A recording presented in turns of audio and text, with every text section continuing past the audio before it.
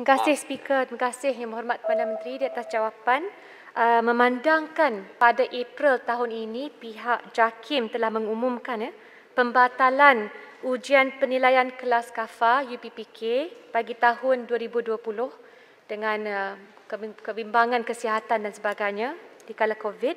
Apakah cadangan kementerian untuk uh, berbincang bersama kesemua pemegang taruh sekolah-sekolah agama dan juga sekolah tahfiz bagi kaedah baru yang mungkin boleh diguna pakai untuk menggantikan ujian bertulis dalam memastikan penilaian terhadap penguasaan murid ini tidak terganggu.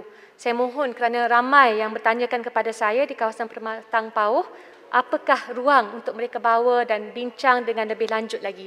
Terima kasih uh, Speaker dan juga Perdana Menteri. Terima kasih. Uh, terima kasih uh, Datuk Seri Speaker. Terima kasih kepada Permatan Pau dengan soalan yang sangat uh, baik dan uh, untuk menjawab soalan ini uh, pihak JAKIM uh, dengan penuh sedar bahawa kaedah uh, ujian penilaian kepada uh, pelajar-pelajar murid-murid kafa ini adalah merupakan satu uh, instrumen penting dalam pendidikan dan merupakan teras dalam pendidikan agama.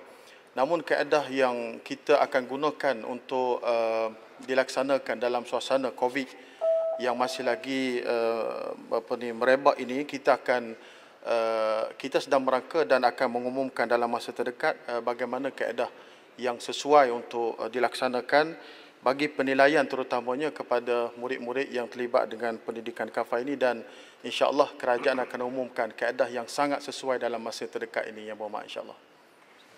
Silakan yang